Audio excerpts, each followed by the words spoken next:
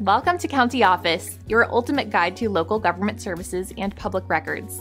Let's get started.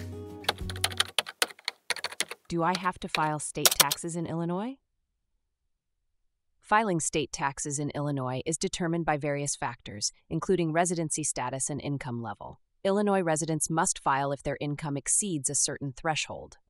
Non residents who earn income in Illinois are also required to file. This includes income from jobs, business activities, or rental properties located in the state. Illinois uses a flat income tax rate, which means that all taxpayers pay the same percentage of their income. For the tax year 2022, the rate is set at 4.95%. Certain deductions and exemptions can reduce taxable income.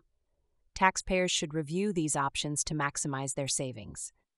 Filing deadlines typically align with federal deadlines. However, extensions may be available under specific circumstances. It is important to keep accurate records of income and expenses.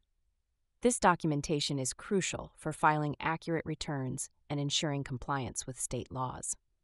If you are unsure about your filing requirements, consulting a tax professional is advisable. They can provide personalized guidance based on your unique situation.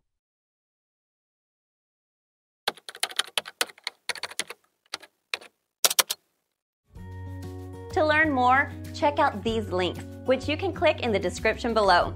And feel free to comment your questions. We're here to help.